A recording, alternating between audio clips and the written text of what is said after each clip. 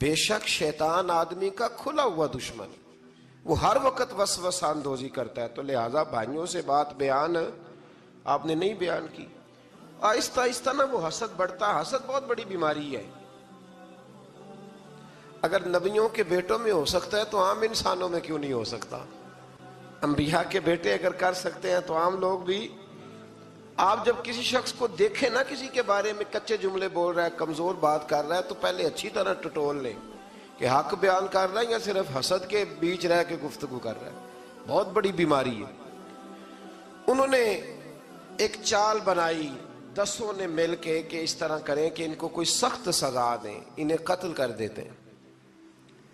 फिर कहने लगे, मारते नहीं, कुएँ में फेंक देते हैं। हज़रत याकूब सलाम की बारगाह में हाजिर हुए तो हाजिर होकर अर्ज़ की कि हम सैर करना चाहते हैं तो हमारा भाई यूसुफ भी तो हमारा भाई है ना?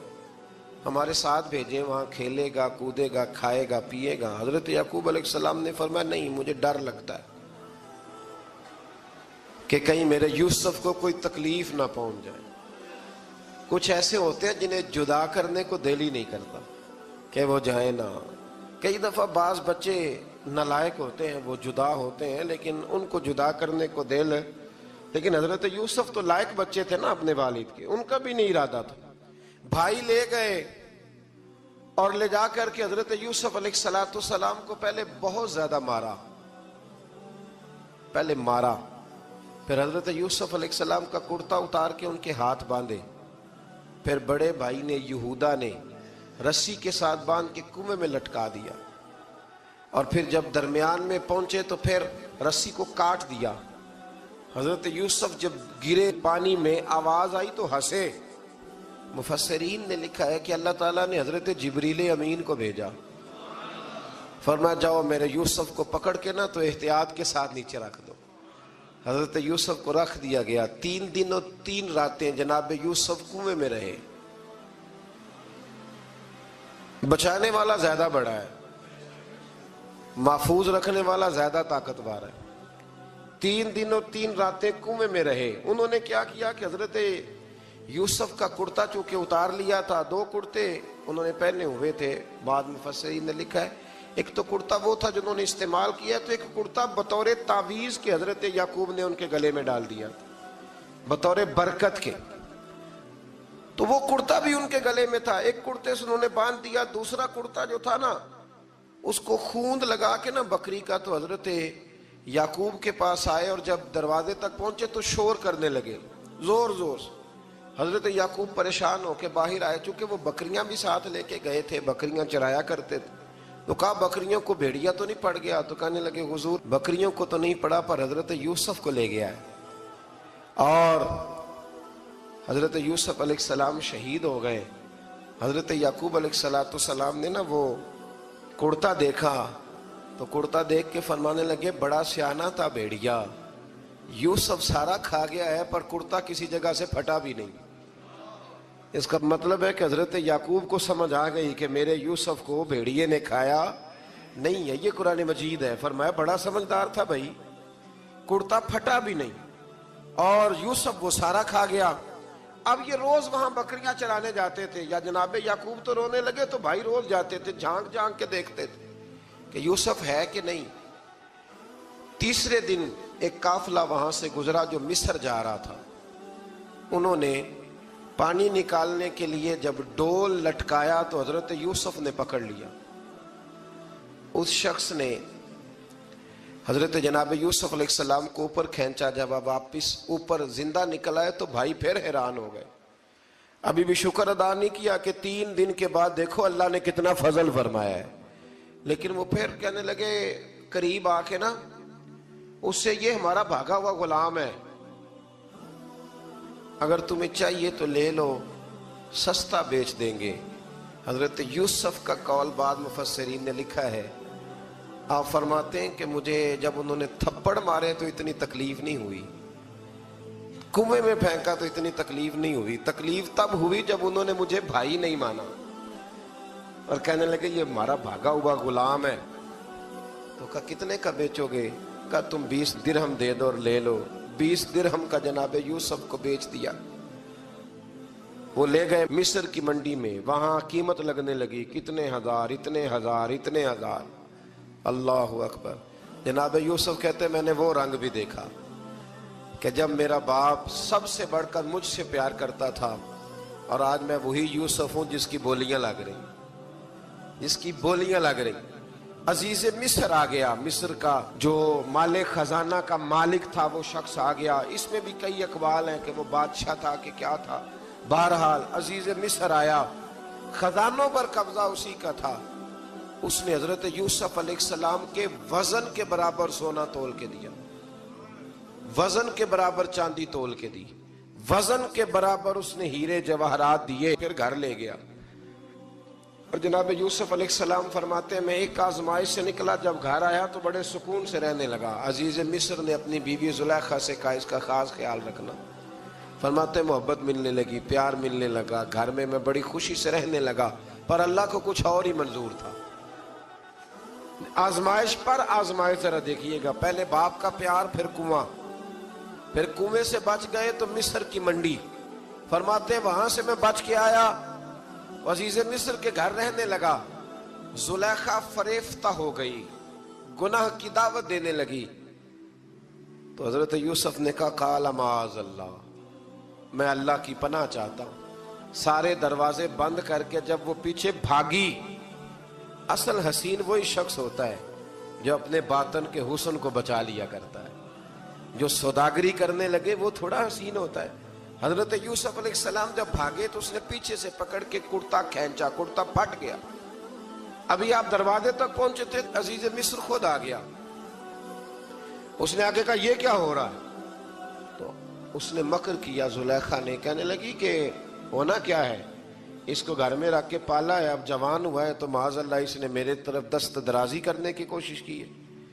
हज़रत यूसुफ फिर खामोश हो गए। भाई बेच रहे थे तो फिर भी खामोश थे। कभी कभी कुछ चीज़ें खामोश रह के सहनी पड़ती। जख्म पे जख्म खा के जी। खूने जिगर के घूट पी। आह न कर लबों को सी। ये इश्क है को दिल लगी नहीं। हज़रत यूसुफ सलाम फिर चुप जुलेखा ने बड़ी बातें की। एक दाना आदमी था। कुरान कहता है एक, एक बोला बोलने वाला एक अकलमंद बोला। उसने कहा देखो ना जुलेखा की सुनो ना यूसुफ की सुनो। अगर तो कुर्ता आगे से फटा हुआ है तो फिर गलती है जनाब यूसुफ की। और अगर पीछे से फटा है तो फिर जुलेखा की गलती। हज़रत यूसुफ की माजल्ला फिर गलती। तो अज़ीज़ मिस्र ने कुर्ता देखा तो पीछे से फटा था, लेकिन इमाम कुर्तबी कहते हैं, वो कोई अकलमंद आदमी नहीं, वो तो चार महीने का बच्चा था। वो एक चार महीने का, वो करीब था। हज़रत यूसुफ सलाम की गवाही देने के लिए अल्लाह ने उसे ज़ुबान दी थी, जुलेखा के मामू का बेटा था। चार महीना का गहवारे में लेटा हुआ, जब बादशाह से फैसला नहीं हो रहा था और बादशाह परेशान था, अज़ीज़ मिस्र के किसी को जाके बताऊँगा तो कोई क्या सोचेगा? इसके घर में क्या कुछ होता है? कहते, परेशान था तो पंगूड़े से बच्चा बोल पड़ा। कहने लगा, बादशाह, अगर तो कुर्ता आगे से फटा है तो फिर माज अल्लाह, गलती हज़रत यूसुफ की, अगर पीछे से फटा है तो फिर जुलेखा की तो कुर्ता पीछे से फटा था। हज़रत यूसुफ के हक में गवाही मुकम्मल हो गई। अब आहिस्ता आहिस्ता ना दरबार में, महल में बात फैलने लगी तो बीबियाँ कहने लगी, ओहो, जुलेखा तो एक गुलाम पे आशिक हो गई है। एक गुलाम पे तो जुलेखा कहने लगी, तू अजय मेरा महबूब नहीं डिठा। ये रटे डालने वाले देखते नहीं और दूर खड़े रह रह के कहानियाँ सुनाते रहते उन्होंने कहा, तूने अभी देखा नहीं ना। तूने अभी तुझे क्या पता हो कि माजरा क्या है? तो कहने लगी, नहीं, तू गुलाम पे उसने कहा, चलो तजर्बा कराती हूँ। सारी औरतों को बिठाया, हाथ में एक एक सेब दिया, एक एक छुरी दी। और जब पूरी तैयारी हो गई फल काटने की औरतों की तो जनाबे यूसुफ से कहा, जरा झलक तो दिखाओ। तो हज़रत यूसुफ ने जब झलक दिखाई तो कुरान कहता है, सेब काटने की बजाय हाथ काट लिए। और कहने लगी, ओहो, ये कोई बशर नहीं ये तो कोई फरिश्ता है। कोई फरिश्ता है, ये तो कोई अल्लाह तबारक का ताला की तरफ़ से आने वाला, कोई करामत वाला, इज़्ज़त वाला, शान वाला फरिश्ता है। तो जुलेखा कहने लगी, समझ आई है फिर। तो मुझ पर शिकवा करती थी। तो अब वो वो बात भी आहिस्ता आहिस्ता फैलने लगी कि हज़रत यूसुफ सलाम की गलती नहीं, गलती जुलेखा की। अब बादशाह ने जुलेखा से कहा कि अगर तो मैं तेरी बात करूँ तो तेरे साथ मेरी बदनामी का भी डर है। क्या करे? तय ये पाया कि हज़रत यूसुफ को जेल में डाल दिया जाए। पहले भाइयों के थप्पड़, फिर कुआँ, फिर मिस्र की मंडी, फिर जुलेखा का इल्ज़ाम, और फिर बारी आ गई जेल जाने की। हज़रत यूसुफ सलाम को जेल में, कुछ ने लिखा है, बारह साल जेल में रहे। जेल में डाल दिया। हज़रत यूसुफ सलाम जेल में क्या करते? बाज फरमाते, तबलीग फरमाते। लोगों को अल्लाह की तोहीद की दावत देते। वहाँ जेल में ना एक शख्स ने ख्वाब देखा। उसने देखा कि मेरे सर पे ना परिंदे खा रहे। तो हज़रत यूसुफ कहने लगे, इसकी ताबीर ये है कि तुझे कत्ल किया जाएगा। और तेरी लाश कुछ देर पड़ी रहेगी तो परिंदे तेरे सर पे आके बैठेंगे। ये ताबीर है। ऐसा ही हुआ। वाकई वो शख्स कत्ल हो गया। एक शख्स ने देखा कि वो शराब कशीद कर रहा है। उसने भी ताबीर पूछी तो आपने फरमाया तो अपने बादशाह को पिलाएगा। महसूस होता है कि उतनी देर तक शराब नाजायज नहीं थी। तो तू उसको शराब पिलाएगा, ये उसकी ताबीर है। वक्त गुजरता गया। वक्त जो होता है ना, वक्त, ये खुद ब खुद लोगों की बेगुनाही साबित कर देता है। एक वक्त में ना प्रापोगंडा होता है तो हर आदमी प्रापोगंडे का शिकार होता है। फिर जब वक्त गुजरता जाता है तो खुद ब खुद वक्त का गुजरना कुछ चीज़ों का खुद ब खुद हाल बन जाता है। हज़रत यूसुफ अला नबी नाम सलाम को जब 12 साल बीत गए तो बादशाह ने अज़ीज़ मिस्र ने ख्वाब देखा। उसने ख्वाब देखा कि सात मोटी ताजी गायें, दुबली पतली गाय को खा गई और सात खुश्क बालियाँ हैं और सात सरसब्ज शादाब बालियाँ हैं। अपने वज़ीर से कहने लगा, कोई ताबीर वाला बंदा मिले? उसने कहा कि एक बंदा है जिसकी ताबीरें बड़ी सच्ची हैं। कहा, वो कौन? कहने लगे, जनाब यूसुफ। तो कैद खाने में पैगाम भेजा हज़रत यूसुफ को कि ख्वाब की ताबीर बताएँ। तो जनाब यूसुफ ने ये नहीं कहा, पहले मुझे बाहर निकालो। ये नहीं फरमाया। फरमाया, ताबीर ये है, ये सात खुश्क बालियाँ देखी है ना, उसका मतलब है कि सात साल तंगदस्ती रहेगी। और सात साल सब्ज बालियाँ देखी हैं तो फिर सात साल अल्लाह खुशहाली दे देगा। और फरमाया, ये जो तुमने गायें देखी हैं, मोटी ताजी, वो खा गई। फरमाया, इसकी ताबीर ये है कि कोशिश करना कि जो तुम्हारे पास दिन ये चल रहे हैं, जिनमें सरसब्ज, शादाब है, खेतियाँ तो सात सालों के लिए अनाज जमा कर लेना, बालियों के अंदर ही रहने देना, बाहर ना निकालना। और फिर अगले जो खुश्क साल होंगे ना, वो ये जो जमा पूंजी की होगी ना, इसकी बरकत से वो सात साल आसानी से इस पर हमारे मुफसरीन ने लिखा इस आयत पर। सूफिया और बुज़ुर्ग तो कहते हैं ना, सारा अल्लाह के रस्ते में दे दो, ये भी बात अच्छी है। लेकिन अगर कोई अपने बच्चों के लिए आने वाले वक्त के लिए कुछ चीज़ें संभाल के रखे तो ये भी सूरा यूसुफ से साबित है। ये भी सूरा यूसुफ से तो ये भी कोई ऐसा फेल नहीं है जिस पर कोई शख्स तनकीद कर सके। आम आमदाम बरसरे मतलब हज़रत यूसुफ ने जब ताबीर बताई तो बादशाह कहने लगा कि उन्हें बाहर निकालो। आप फरमाने लगे, मैं नहीं निकलता भाई। नहीं निकलता मैं जेल से। यही ठीक हूँ मैं। आप क्यों नहीं निकलते? कहने लगे, पहले ऐलान करके लोगों को बता के मैं बेकसूर हूँ। वो जो तूने प्रापोगंडा किया ना, अपने अपने मुँह से ऐलान कर। उसने जनाब जुलैखा को बुलाया, उन औरतों को बुलाया। वो औरतें सारी सामने आई, उन्होंने गवाही दी कि यूसुफ तो बेगुनाह है। पर साल कितने लग गए?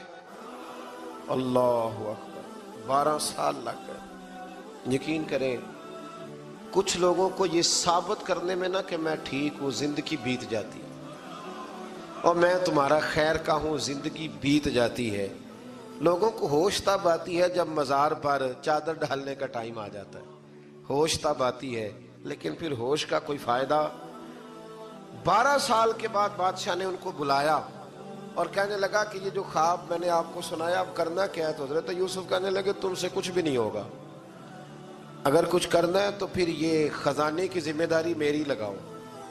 अगर कोई काबिल आदमी हो तो वो आगे बढ़ के बात कर सकता है। यहाँ हर बंदा ही आगे बढ़ के कहता है, मुझे दे दो ड्यूटी लेकिन काबिल हो तो वो आगे बढ़ के बात करे और समझे कि मेरे अलावा किसी के लिए मुश्किल है तो फिर वो आगे बढ़े। हज़रत यूसुफ ने जब कहा तो उन्होंने आपको वज़ीर खजाना बना दिया। फिर एक वक्त आया कि वो अज़ीज़ मिसर ही बन गए। कहत पड़ गया। जब मिस्र में कहत पड़ा तो दाएँ बाएँ भी कहत पड़ा किनान के आप रहने वाले थे। वहाँ भी कहत पड़ा। हज़रत याकूब बेटे की याद में रो रो के तो आँखों की बिनाई चली गई। और यारो बाप भी बड़ा ही प्यार करता है। बड़ा ही प्यार करता है। बड़ा ही। पता है, बाकी तुम्हें तोहफे देते हैं, बाकी तुमसे मोहब्बत करते हैं तो बाप तो बेटे को अपनी जवानी दे देता है। अपनी जवानी अपने बेटे के नाम कर देता है बाप। बाप भी बड़ा ही प्यार करता है संगियो। कोई नहीं तोल सकता। बच्चे ऐसे घूम रहे होते हैं ना अब्बा जी के सामने तो उनका उठना, बैठना, चलना ही बड़ा प्यारा लगता है। का आना जाना ही बड़ा प्यारा लगता है। बाप का तो कद रोज ऊँचा होता है कि अल्लाह ने मुझे लाल अता फरमाया हज़रत याकूब की आँखों की बिनाई चली गई रो रो के। भाई हज़रत यूसुफ के जब कहत पड़ा तो उन्हें पता चला कि एक वाहद शहर मिसर है, जहाँ गंदम स्टाक है। क्योंकि हज़रत यूसुफ को पता था। खाब बादशाह देख चुका था तो आपने माल सात सालों के लिए जमा कर लिया। अब भाई आए, अल्लाह अकबर। दुश्मन सामने नज़र आए, मुखालिफ हासिद। तो फिर इंसान ठहरा रहे, और इंसान कमज़ोर ना हो, ताकतवर हो। इतना ताकतवर हो कि हुक्मरान ही बन गया हो। जरा नबियों के हौसले भी देखना, पैगंबरों के हौसले भी देखना। भाई आए का गंदम चाहिए? तो जनाबे यूसुफ ने, ओहो, भाइया जहा साख नहीं कोई, जो बेच खार ना हो हाँ और मियाँ साहब फरमाया करते थे भाई भाइया दिया बाहव आते तो भाई भाइया दे वैरी। भाई जैसे ही दाखिल हुए तो जनाबे यूसुफ की आँखें बाहर आई। रो पड़े। ओ मेरे भाई आ गए रो पड़े। वज़ीर मशीर दाएँ बाएँ देखते हैं कि हज़रत यूसुफ वो क्या हुआ? रो पड़े। और भर भर के गंदम दी, उसको इशारे करते, चल थोड़ी और डाल दे, चल थोड़ी और डाल दे। जब भाइयों को दे चुके तो फिर फरमाने लगे कि शायद इससे गुजारा ना हो, ज़रूरत पड़ी तो दोबारा भी आ जाना। अपनी कौम को तरस दे रहे, थोड़ा थोड़ा खाओ। उन भाइयों को कहते हैं, ज़रूरत पड़ी ना, आ जाना दोबारा। और कहने लगे, तुम्हारा एक और भाई भी है। कहा, है बिनियामीन नाम है। फरमाया, हो सके तो उसे भी ले आना। भाई पैसे लेके आए थे गंदम लेने के लिए, और जब वापस जाने लगे तो हज़रत यूसुफ ने उनकी रकम दोबारा रख दी। वो दोबारा उनकी बोरियों में रख दी। घर जाके उन्होंने खोली तो गंदम भी थी और पैसे भी थे। भाइयों से पैसे थोड़ी वसूल करने। जाके अपने वालिद से कहने लगे, अब्बा बादशाह बड़े देखे हैं, पर उसमें कोई खुशबू देखी। तो उसने कहा है कि अपने दूसरे भाई को भी लेके आना तो बिनियामीन को ले जाए। हज़रत यकूब फरमाने लगे, पहले भी तुम पे भरोसा कर चुका हूँ बार बार नहीं करूँगा। यूसुफ गवा चुका हूँ। पोते बोल पड़े, कहने लगे, दादाजी, आप तो हर वक्त यूसुफ यूसुफ ही करते रहते उन्होंने जिद की, इसरार किया। तो जनाब बिनियामीन को साथ वादा लेके आहद लेके, कसम लेके भेज दिया हज़रत याकूब ने। जनाब बिनियामीन भी पहुँचे मिस्र में। ये दोनों एक माँ से थे सगे दोनों थे। हज़रत यूसुफ ने जनाब बिनियामीन को देखा तो अपने साथ बिठा लिया। और जरा बातें बातें करके ना, इधर बैठ जाओ, इधर बैठ जाओ। अच्छा नहीं है जगह आप इधर आ जाओ, मेरे साथ बैठ जाओ। भाई था ना सगा। अच्छा चलो ठीक है, आप इधर आ जाओ। भाई को साथ बिठा लिया। अभी जब चीज़ें देने लगे तो कान में कहने लगे, वो परेशान थे ना हज़रत बिनियामीन की, ये बंदा क्या कर रहा है? तो कान में कहने लगे, मैं भाई हूँ तेरा। मैं यूसुफ हूँ। इस तरह का यार थोड़े दिन मेरे पास रह नहीं जाता। हज़रत बिनियामीन कहने लगे, रह जाता हूँ। रह गए जनाब बिनियामीन। अब कहा, नहीं, मैं नहीं भेजूँगा। कुछ लोगों ने ये लिखा है कि हज़रत बिनियामीन के जो बोरी थी, उसके अंदर उन्होंने थैले के अंदर शाही प्याला रख दिया और फरमाया, इसको हम नहीं जाने देंगे, हमारा प्याला कैसे? ये नहीं कहा कि ये चोर है। कहा, प्याला कैसे आया इसके थैले पे? लिहाजा ये अभी हम रहेगा हमारे पास, देखेंगे। वो बाकी चले गए तो यहूदा कहने लगा कि मैं नहीं जाता, मैं यही ठहरूँगा। इसलिए कि मैं बाप को क्या बताऊँगा कि पहले भी मैं कुर्ता मैं ही लेके गया था यूसुफ का। अब मैं क्या बताऊँगा? वापस गए और जाके बताया कि जनाब बिनियामीन को उन्होंने रख लिया है, मामला बन गया है। वो कहते हैं, कैसे प्याला आया है, शाही प्याला? हज़रत सैदना यकूब सलाम फरमाने लगे, मैंने तुम्हें पहले ही कहा था। कि तुम मेरे बिनियामीन को भी ले जा रहे हो। पहले मैं भरोसा करके यूसुफ के मामले में परेशान हूँ। फरमाया, इस तरह करो, जाओ, ढूंढो जाके मेरे यूसुफ को और ढूंढो जाके मेरे बिनियामीन को। जाओ, तलाश करो। अल्लाह अकबर। भाई दोबारा आए। गंदम भी खत्म हो गई थी। आते ही कहा कि अज़ीज़, मिस्र बड़ी बुरी हालत है। हम बड़े परेशान हैं। हमारे बाप की रो रो के आँखें चली गई हैं। मेहरबानी करो, कुछ गंदम भी दे दो और इस तरह करो कि हमारा भाई भी हमें वापस कर दो, ताकि हम इसे ले जाएँ और हमारे वालिद गिरामी की आँखें ठंडी हो। हज़रत यूसुफ अला नबी ना वाले सलाम उनकी बातें भी सुनने लगे और गौर से उनके चेहरे भी देखने लगे, गौर से। तो जब उन्होंने हज़रत यूसुफ सलाम की तरफ़ गौर से देखा तो हज़रत यूसुफ कहने लगे, मुझे पहचानते हो पहचानते हो? का नहीं? फरमाने लगे, मैं यूसुफ हूँ। काला आना यूसुफ। कहने लगे, मैं यूसुफ हूँ। और हज़रत बिनियामीन की तरफ़ इशारा करके कहने लगे, वह हाज आखी और ये मेरा भाई है। मैं यूसुफ हूँ, और ये मेरा भाई है। और फरमाने लगे, अल्लाह ने हम पर एहसान किया है, और जो तकवा इख्तियार करता है और सब्र करता है अल्लाह ताला उस नेक के अजर को कभी जाया। ये नहीं फरमाया, मैंने बड़े तकवे की, ये परहेजगारी की तो बच गया। फरमाया, जो भी तकवा इख्तियार करेगा, जो भी सब्र करेगा, अल्लाह उस नेक के अजर को कभी जाया नहीं करेगा। फिर फरमाने लगे, जाओ, आज तुम पर कोई गुनाह नहीं। जाओ एकदम ही उसी वक्त ही। फरमाया, जाओ, मैंने तुम्हें माफ़ किया। जाओ, मैंने तुम्हें माफ़ किया। और फरमाने लगे, मेरी दुआ है कि मेरा रब भी तुम्हें माफ़ कर। फिर फरमाया, ये मेरी कमीज ले जाओ, मेरा कुर्ता और मेरे बाप की आँखों पे डाल देना। उम्मीद है उनकी आँखों की रोशनी वापस आ जाए। जाओ, ले जाओ। तो वो कुर्ता लेके गए। इजहाबू भी कमीज ही हाजा, ये मेरा कुर्ता ले जाओ। देखो, में एक आराबी आया। हुजूर ने फरमाया, कुछ मांग लो। उस देहाती से हुजूर ने फरमाया, है, आज वो माइल बाता और भी कुछ मांग। कुछ मांग ले तो वो कहने लगा, हुजूर, आप मुझे सवारी के लिए ऊँट दे दे। हज़रत अली कहते हैं, मैंने कहा है अफसोस, मांगा भी तो क्या मांगा? हुजूर ने फरमाया, चल, कुछ और मांग ले। कहने लगा, चले, आने जाने के लिए किराया भी दे दे जादेरा भी दे दे, खाने क्या मांगा? तो हजूर सलाम ने उसे दे दिया। तो महबूब फरमाने लगे, तुझसे तो मूसा सलाम के दौर की वो बूढ़ी अच्छी थी। कहा, वो बूढ़ी कौन सी बूढ़ी?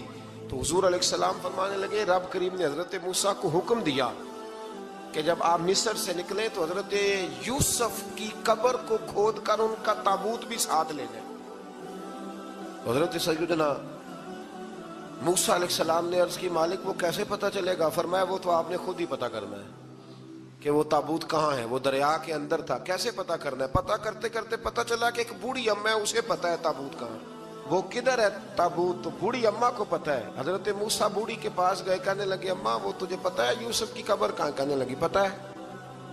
तो कहा फिर बता दो। कहने लगे, मुफ़्त में बता दू। नबी के मजार का ड्रेस और फ्री में बता दू। ये कैसे हो सकता है? हज़रत सैदना मूसा फरमाने लगे, चल, कीमत ले, तबरानी की हदीस है, हुजूर बयान फरमाते हज़रत मूसा कहने लगे, बता क्या लेगी? कहने लगी, मुझे ना जन्नत में वो वाला मकान दिलाएँ जिसके पड़ोसी मूसा सलाम मेरी और आपकी दीवार कठी हो। की आखिद कंध अल्लाह अकबर। तो हज़रत मूसा कहने लगे, चल अम्मा, मेहरबानी कर, जन्नत मांग ले, अब तू पड़ोस ही मांगने लग गई है। तो अब नबियों का दर्जा तो बड़ा होगा तो देने वाला अल्लाह है। मैं दुआ करता हूँ। तो कहने लगी, जी ठीक है अगर आप नहीं देते तो मैं एड्रेस नहीं बताती। तो हजूर फरमाने लगे, इससे तो वो अच्छी थी। हज़रत मूसा ने अर्ज़ की कि, या अल्लाह, ये नहीं बता रही तो अब क्या करूँ? फरमाया, मूसा, वादा तू कर ले, मकान मैं दे दूँगा। इस्लामी तर्ज ज़िंदगी में सबसे ज़्यादा जिस चीज़ पर ज़ोर दिया गया है, वो ये है कि किसी के साथ कभी भी ज्यादती न की जाए। जुल्म ना हो। नबी पाक सैद आलम सल्लल्लाहु अलैहि वसल्लम की तशरीफ़ आवरी के जो मकासद हैं, उनमें मेरे महबूब करीम सल्लल्लाहु अलैहि वसल्लम ने जिस चीज़ पर सबसे ज़्यादा ज़ोर दिया है, वो ये है कि मैं जुल्म ख़त्म करने आया। जुल्म नहीं होना चाहिए। एक तो है किसी को मारा जाए, उसके मुँह पर उसको गाली दी जाए, उसको सताया जाए, उसके रास्ते में कांटा बिछाया जाए, उसको पत्थर से, थप्पड़ से, डंडे से, तलवार से मारा जाए। ये तो एक बहुत बड़ी बात है। इस्लाम ये कहता है कि तो अपने घर के अंदर बैठ के भी किसी मुसलमान के खिलाफ बात भी ना कर। इतना इतना ज़्यादा पाबंद मज़हब। अपने घर की चार दीवारी के अंदर बैठकर भी किसी मुसलमान की बुराई करने की, सिर्फ़ ज़ुबान से साजिश करने की बात नहीं, उसके खिलाफ मनसूबाबंदी करने की बात नहीं, उसको लोगों को उसके खिलाफ उभारने या उकसाने की बात नहीं, खाली उसके खिलाफ गुफ्तगु। और वो वाला ऐब जो उसमें पाया जाता है वो ऐप जो उसमें मौजूद है, वो ऐप भी तुझे घर के अंदर बैठकर निजी और जाती महफल में भी बयान करने की इस्लाम इजाज़त नहीं देता। और इस्लाम ने इसको गीबत का नाम दिया। और मेरे नबी पाक सल्लल्लाहु अलैहि वसल्लम ने फरमाया, ये फेल कि तू घर के अंदर बैठकर किसी की इज़्ज़त के बारे में बात करे, समझ ले तूने जिना से भी बुरा काम किया। ये बदतर है जिना से भी। ये जो ज्यादती और जुल्म है ना मेरे भाई, इसको इस्लाम ने इस कदर ज़्यादा नापसंद किया और इस पर इस्लाम ने इस कदर ज़्यादा अहकामात बयान किए। मेरे नबी करीम सल्लल्लाहु अलैहि वसल्लम ने फरमाया, कयामत के दिन अल्लाह मजलूम के साथ होगा। अल्लाह किसके साथ होगा? कयामत के दिन अल्लाह मजलूम के साथ होगा। और ये लफ्ज़ हैं हदीस मुबारक में इबन हजर रहमान ने लिखे अल्लाह क़यामत के दिन मजलूम के साथ होगा और अगले लफ्ज़ सुनोगे तो हैरान रह जाओगे। फरमाया, अल्लाह क़यामत के दिन मजलूम के साथ होगा अगरचे वो मजलूम काफिर ही क्यों ना हो? अगरचे वो मजलूम अल्लाह उसके साथ होगा। अल्लाह क़यामत के दिन मजलूम के साथ है। अगरचे वो वो वाला रटा नहीं कि मेरी बरादरी का है तो मैंने सपोर्ट तो करनी है ना। हम तो जालिमों के साथ होते हैं। हमारे देहातों में रिवाज है कि नौजवान किसी की इज़्ज़त पर हाथ डालता है, किसी की बेटी को भगा के लाता है तो उसके दोस्त उसकी मदद करना फरीजा समझते हैं। उसको सपोर्ट किया जाता है, उसको रहने को जगह दी जाती हम ये नहीं देखते कि वो चौक में लड़ाई हुई है और हमारे बच्चे की किसी के साथ पिटाई हुई तो हम तो बंदूकें, डंडे कुलाड़ियाँ उठा के चले जाते हैं। वहाँ जाके तहकीक पे पता चलता है कि जुल्म तो हमारे बच्चे का है। तो फिर मदद किसकी करनी चाहिए थी? हम किसकी करते हैं? मेरे नबी करीम सल्लल्लाहु अलैहि वसल्लम को अपनी उम्मत से बड़ा प्यार है। हुजूर को बड़ी मोहब्बत है। फरमाया, कयामत के दिन लोग अपने अपने मिंबरों पे बैठेंगे, पर मैं सजदे में गिर के अपनी उम्मत की दुआएँ मांगूँगा। कयामत में जो बचेगा वो मेरे नबी पाक की बरकत से बचेगा। लेकिन रसूल करीम सलाम ने फरमाया, जुल्म करके ना आना। तुम्हारी बाकी कमियों पे मैं पर्दे डलवा दूँगा। जुल्म करके ना आना। इमाम बह की रवायत लाए हैं। महबूब पाक ने फरमाया, मेरे उम्मती ने किसी जिम्मी काफर के साथ अगर ज्यादती की, वो टैक्स देता था, जजिया देता था जिम्मी काफर था और मेरे उम्मती ने अगर उसके साथ ज्यादती की तो नबी पाक सल्लल्लाहु अलैहि वसल्लम फरमाते, मैं कयामत के दिन उस काफिर के साथ मिलकर अपने उम्मती पर अल्लाह की बारगाह में मुकदमा दायर करूँगा। मैं खुद मुकदमा दायर करूँगा। यहाँ जुल्म की आंधियाँ चलती हैं, तूफ़ान चलते हैं, लोग दवाइयों में जुल्म बेचते हैं, लोग तालीम के नाम पर जुल्म करते हैं। लोग खैर के नाम पर जुल्म तकसीम करते हैं। यहाँ अल्लाह अकबर ऐसे ऐसे रंग देखने को मिलते हैं। अब बनेगा क्या? क्या हर जैनब इसी तरह तड़प के चली जाएगी? इसका रिज़ल्ट क्या निकलेगा? हमारे यहाँ तो नंबर गेम चलती है। सियासतदान शेर लिख के लाते हैं। वो टीवी पे बैठ के एक दूसरे को नीचा दिखाने की कोशिश करते सारी सियासी जमातों के सरबराहों को वहाँ होना चाहिए था कि नहीं होना चाहिए था? क्यों नहीं बोलते आप लोग? आप कब बोलेंगे? अभी भी वक्त नहीं आया आपके बोलने का। इनको वहाँ होना चाहिए था कि नहीं होना चाहिए था? ये आपके नुमाइंदे इनको होना चाहिए था वहाँ? मेरे नहीं है, अल्लाह जानता है। एक भी नहीं है इनमें से। सवाल ही नहीं पैदा होता। हमारे ये नुमाइंदे होंगे। सवाल ही नहीं पैदा होता। हमारे नुमाइंदे नहीं है ये। आपके भी नहीं है बस थोड़ा सा वक्त और रह गया है, फिर इंशाल्लाह सारा पाकिस्तानी समझदार हो जाएगा। ये किसी के भी नहीं है। मेरे भाई नंबरिंग हो रही है। मैं रात गुजरात में था तो मैं कह रहा था कि एक साहब कहने लगे, मुझसे वहाँ के पंजाब की हुकूमत को रिजाइन करना चाहिए था कि नहीं करना चाहिए था? तो मैंने कहा रिजाइन वो करते हैं जिनके अंदर कुछ थोड़ा बहुत शर्म का मादा होता है। ये लोग रिजाइन करेंगे। ये कैसे कर सकते हैं? और फिर रिजाइन सिर्फ़ उनको नहीं करना चाहिए था। मेरी तो दावत यह है कि हर सियासी जमात रिजाइन करे। हम इस मुल्क में सियासत नहीं करेंगे। मजहबी जमातें तबलीग करना बंद कर दें। पिराने उजाम, गद्दी नशीनियाँ छोड़ के बाहर निकलें। ये जो हर चौक और हर चौराहे में लोग नसीहतों का बाज़ार गर्म करके खड़े हैं, ये छोड़ दें। क्या असर है तुम्हारी तबलीगों का? क्या मिल रहा है कौम को? तुम्हारी गद्दियाँ क्या तस्किया नफ्स कर रही हैं? और हर उस आदमी पे मुकदमा होना चाहिए जिसके मोबाइल में गंदी फ़ोटो है।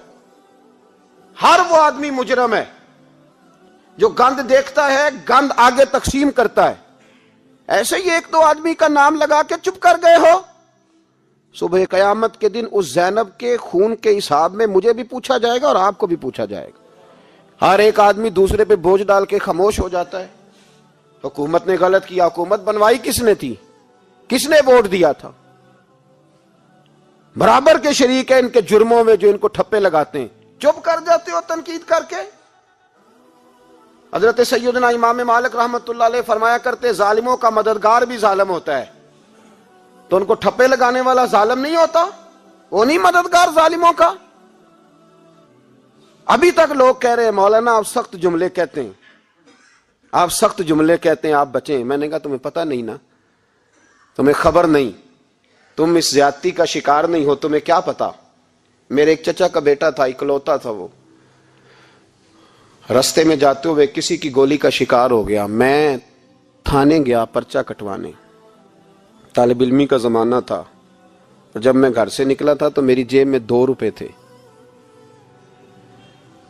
मेरे तो अब्बा जी बड़ी देर पहले इंतकाल कर गए। चचा की ये हालत थी कि वो बेचारे उठने के काबिल नहीं रहे, एक बेटा था। और मैं जब थाने गया तो मैंने पर्चा काटने वाले से कहा कि कत्ल हो गया है, पर्चा कटवाना है।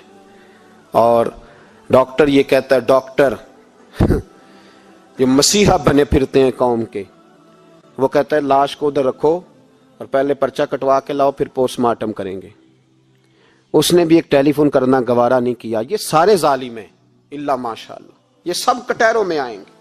इन सबको हिसाब देना है। इनकी गोदों में बैठने वाले मौलवी और पीर सबसे पहले वो लटकाए जाएँगे। सबसे पहला नंबर उनका है। मैंने जाके कहा, पर्चा पहले पर्चा कटवाओ, फिर पोस्टमार्टम से मैंने कहा, पर्चा। तो पुलिस वाला मुझे कहने लगा, एक पेंसिलों का डब्बा लाओ। ये नुमाइंदे हैं हमारे। ये हमारी हिफाजत करने पे हैं। तुमने खुद अपने लिए पुलिस बनाई है।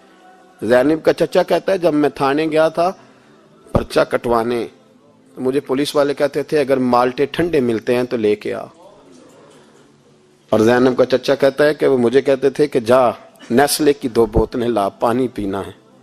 इस मुल्क पे बसने वालों का कोई वारस नहीं, कोई नहीं इनका वाली वारस। और कहते हैं, कूड़े में पड़ी लिपटी हुई खून से लाश और मुझे पुलिस वाले कहते हैं, फलाने ने लाश ढूंढी है, उसे तो पहले दस हज़ार दे ले।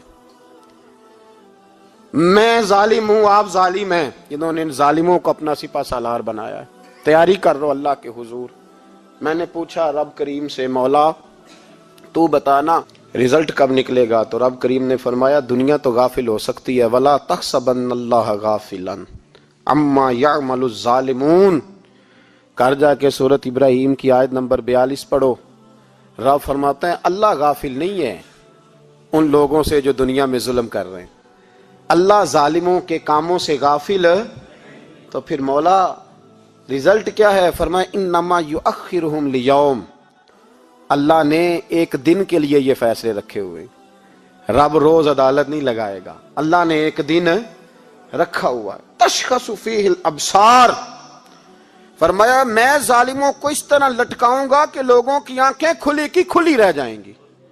मैं जालिम को रब करीम फरमाता है, मुझे कोई गाफिल ना समझे, वक्त आने वाला है, वक्त आने वाला है। हज़रत वहाब इबन मुनब्बे रहमतुल्लाह ताला फरमाते आप फरमाते, बनी इसराइल के अंदर एक बादशाह बड़ा जालिम था। उसने महल तामीर करना शुरू कर लिया। महल बन रहा है। महल के बीच एक झोंपड़ी आ गई, कुटिया एक बूढ़ी औरत की। तो बादशाह ने उस बीबी से कहा कि ये कुटिया, ये झोंपड़ी दे दो।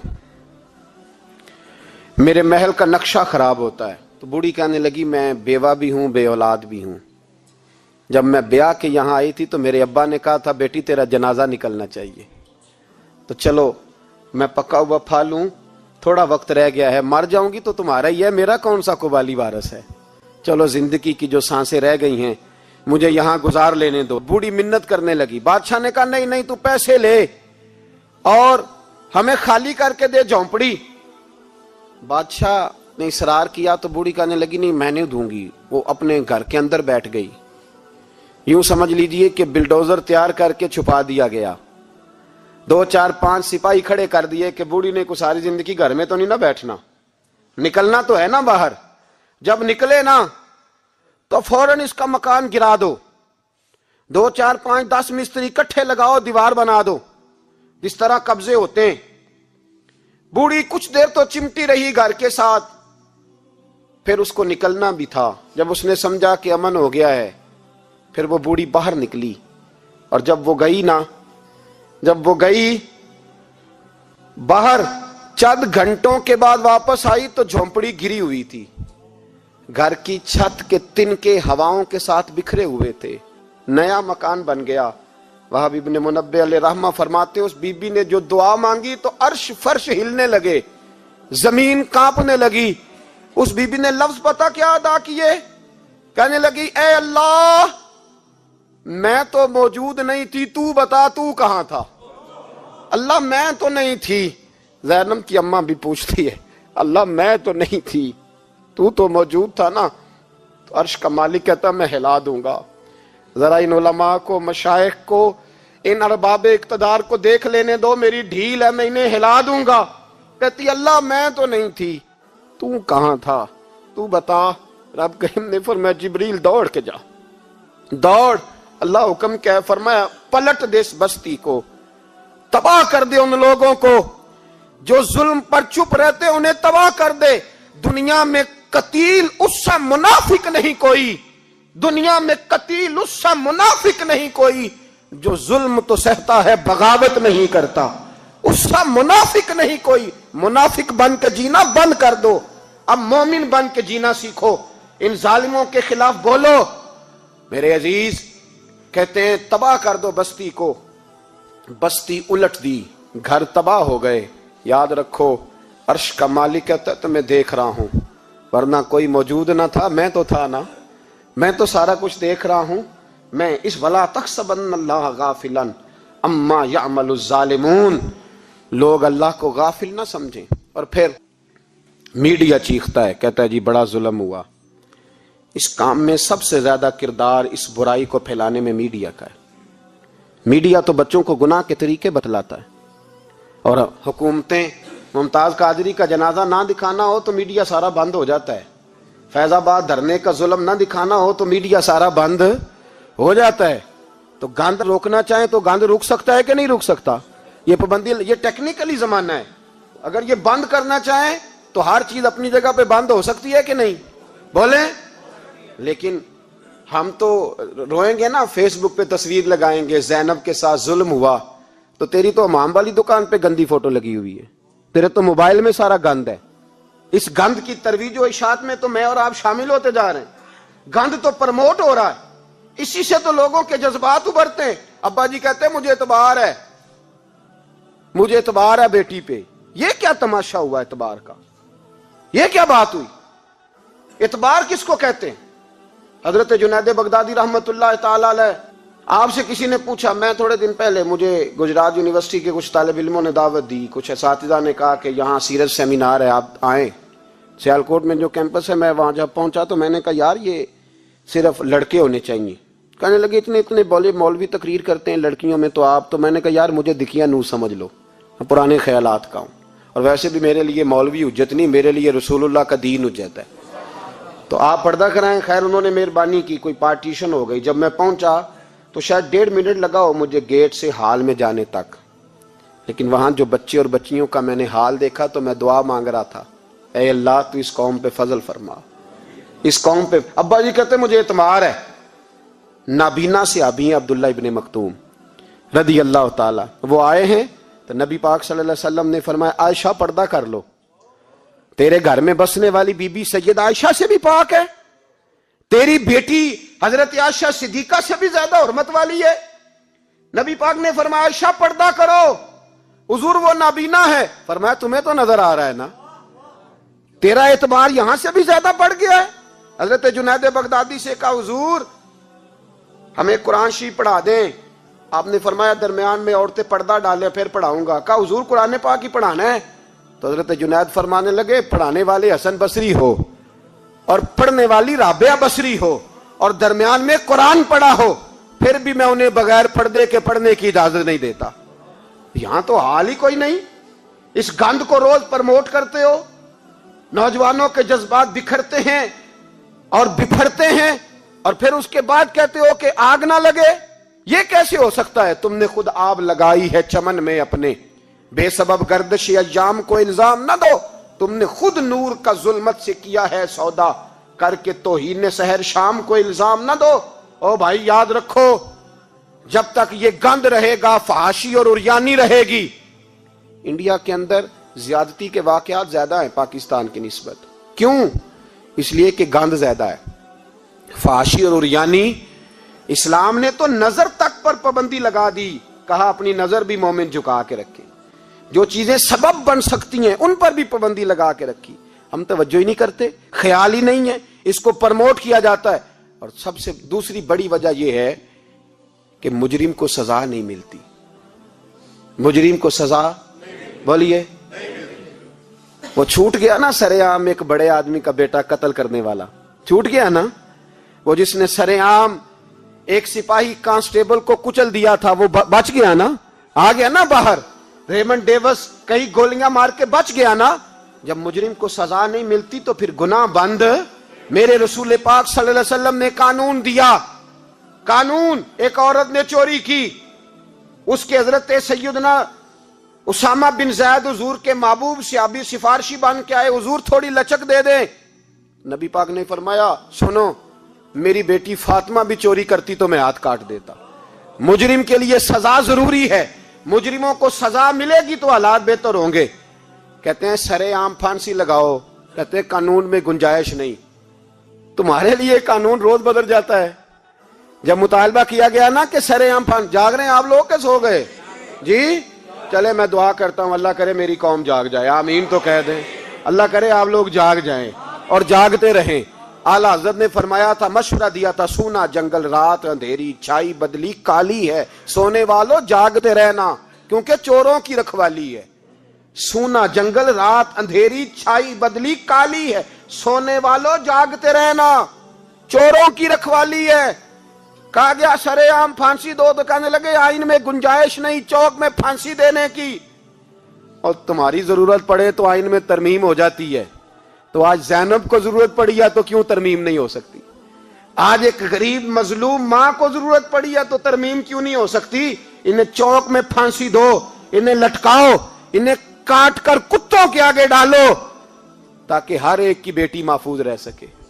और वो जैनब किसी और की बेटी नहीं हो मेरी बेटी है।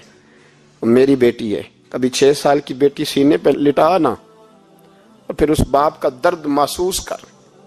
तुझे अंदाज़ा हो कि बेटी बेटी तो बेटी होती है। हातम ताई की बेटी, नंगे सर दरबार रिसालत पे आई तो मेरे नबी पाक ने चादर दी। सलमान फारसी कहने लगे सोने काफर की बेटी है, तेरी पाक चादर है, मैं अपनी ना दे दू। तो हजूर ने फरमाया, सलमान, चुप कर जा, बेटियाँ सांझी होती। बेटियाँ सांझी होती हैं, चुप कर। काफर की बेटी सही, बेटी तो है ना। और बेटियाँ तो सांझी होती हैं। यहाँ इतना जुल्म और इतना हशर हो गया और कहते हैं, पता नहीं चला।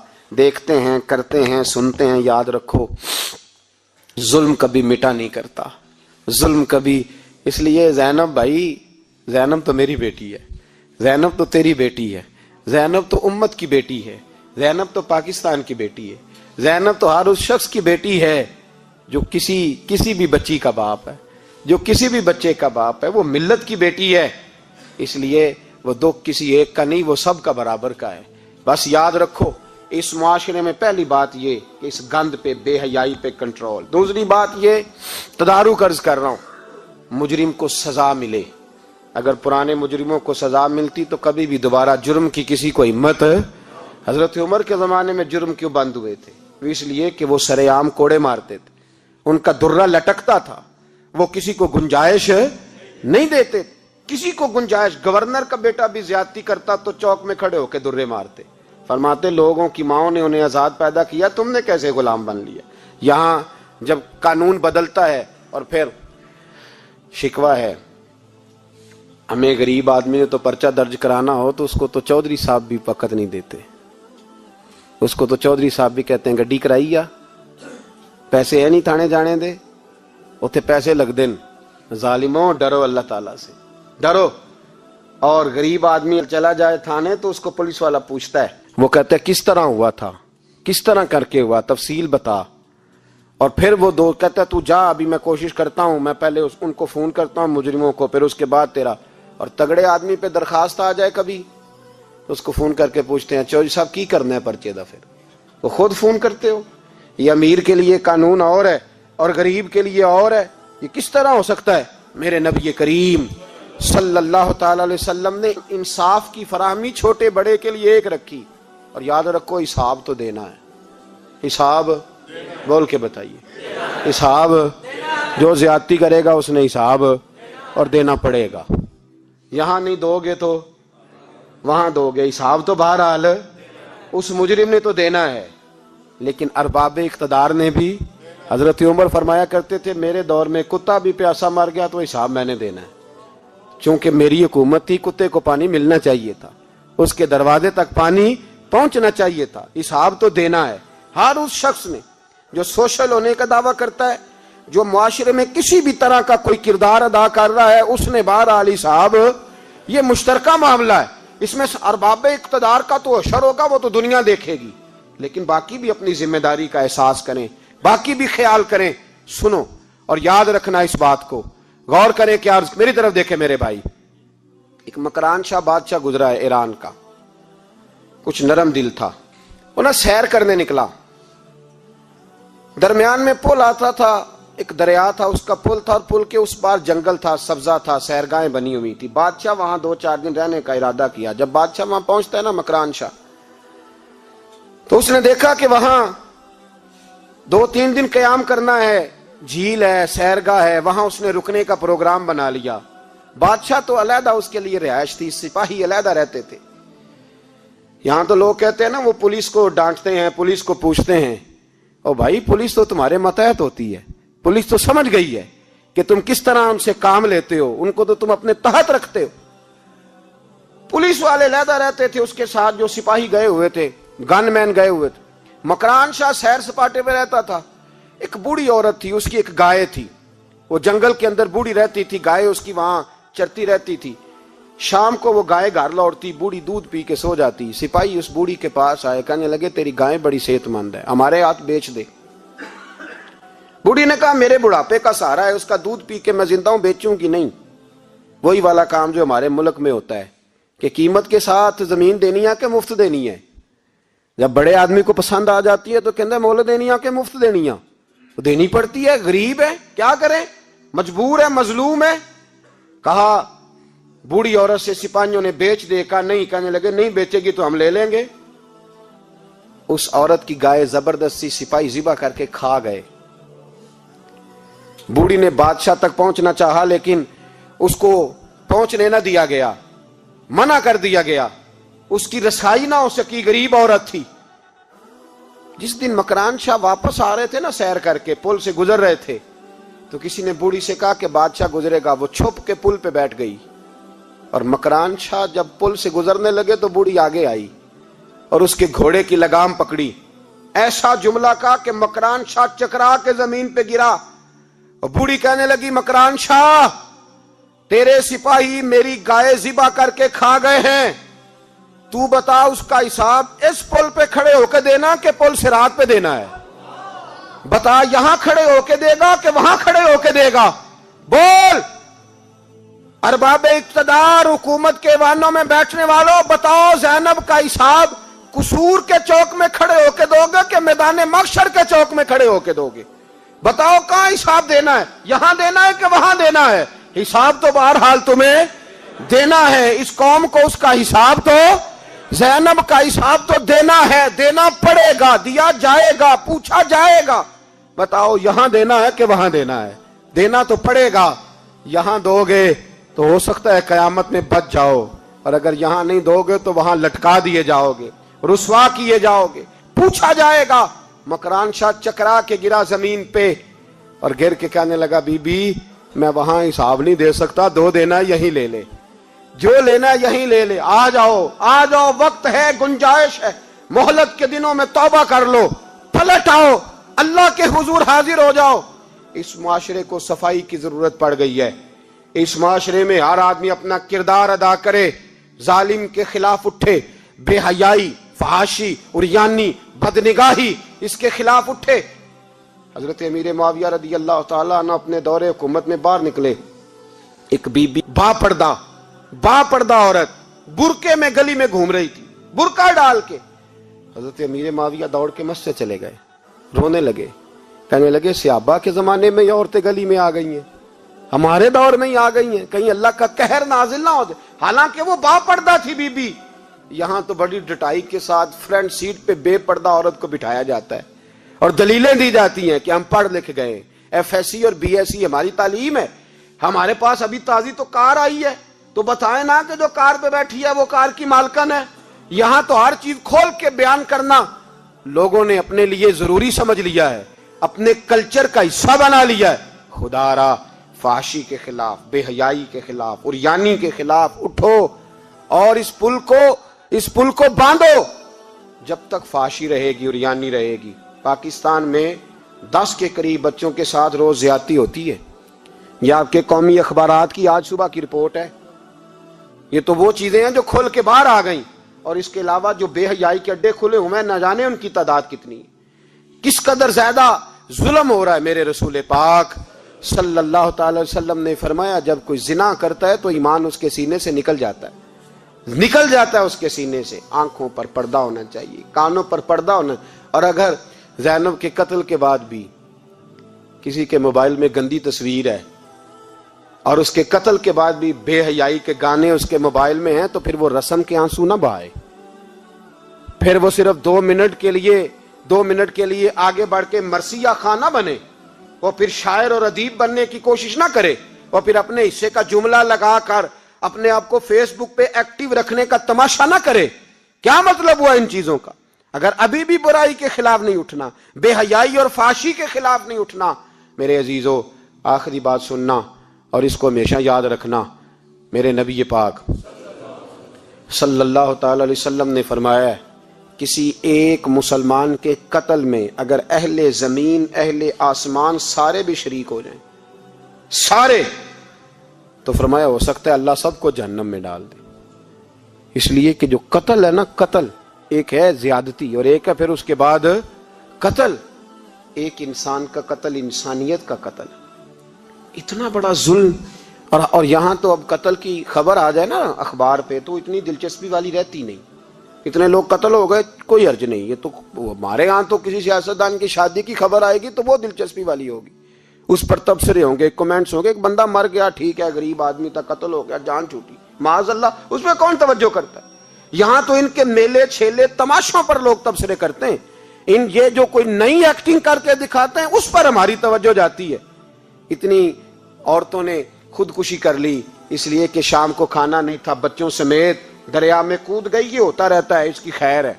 माजल्ला ये तो सारे जमाने में, ये देखो कि किसी किसी सियासी लीडर ने कोई नई एक्टिंग की है तो उस पर तबसरा करते हैं, उस पर थोड़ी देर बैठते हैं। ओ खुदा के बंदो, अपनी तरजीहात बदलो। मैं कहा करता हूँ, इनकी गाड़ियों के पीछे भागना छोड़ दोगे तो ये सही हो जाएँगे। इनकी जायज़ नाजायज चीज़ों पर नारे लगाने बंद कर दोगे तो ये सही हो जाएँगे। खुदारा, जैनब तो चली गई, पर हमें एक पैगाम छोड़ के गई है कि फाशी के खिलाफ उठ खड़े हो। अब जुल्म के खिलाफ लड़ना सीखो। अब अपने अंदर ये ताकत पैदा करो। अब ताकत पैदा करो, हमें सारा पता होता है।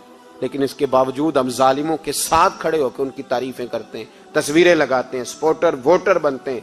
अब इस काम से बाज आ जाओ। मैं हूँ